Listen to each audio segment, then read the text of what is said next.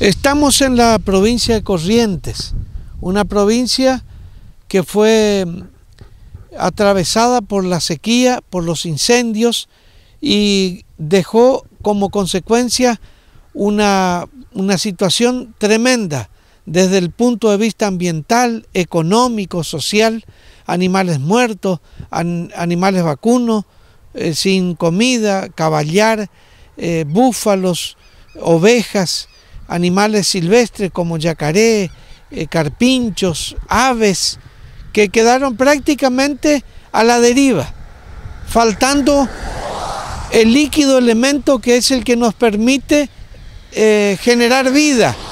El agua es vida, genera vida y es esperanza de vida. A mis espaldas una laguna, una laguna natural.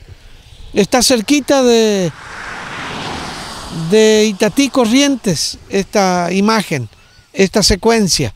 Una laguna con una superficie de entre 4 y 5 hectáreas. Siempre se mantenía con agua. una profundidad importante donde vemos todavía un resto de humedad con los pájaros, con las garzas y con algo, otros, eh, otras aves teroteros gritando y disfrutando de, de, la poquita agua que está llegando. En el día de hoy, una leve llovizna que está queriendo alejar el fantasma de la sequía, pero que todavía no alcanza.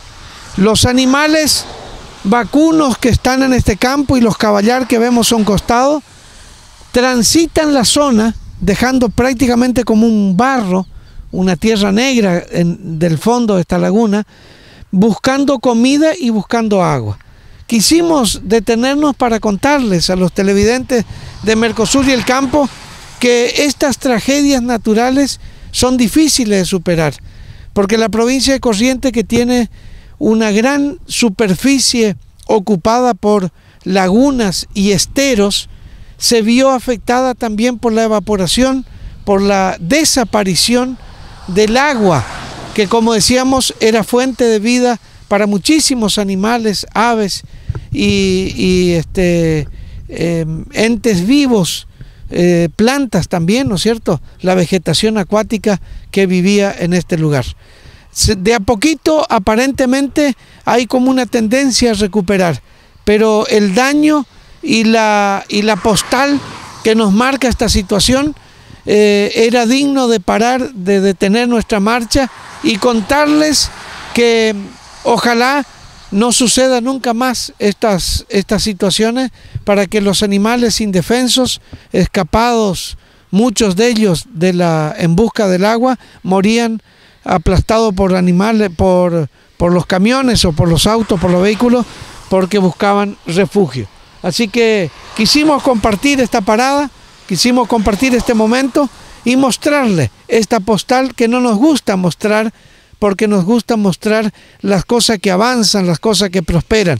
Pero esto es un punto que demuestra una situación de inflexión en el cambio de actitud, en la puesta en funcionamiento de paquetes tecnológicos. Vemos que los campos que fueron quemados, que eh, incendiados, que pasó el fuego, ya empieza la brotación a aparecer. Pero también a lo mejor empieza a tener vivencia la colocación de semillas de pastura para poder tener pasto, comida para los animales que todavía están eh, este, eh, desesperados eh, balando, berrando, anunciando que tienen hambre y que tienen sed.